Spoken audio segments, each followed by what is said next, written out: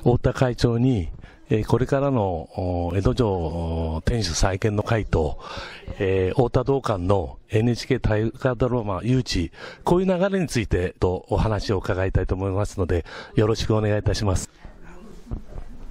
ああの、ぜひ、2020年東京オリンピックの年に江戸城を作った太田道館を、えー、大河ドラマで、えー、やりたいということで、えー、今年は勝負ですので頑張ります。それからそれで勢いをつけて、えー、その後に、えー、江戸城天守閣を再建したいと。これで東京のシンボル、日本のシンボルとして文化の中心地にしたいと、こういうふうに思っております。よろしくお願いします。どうもありがとうございます。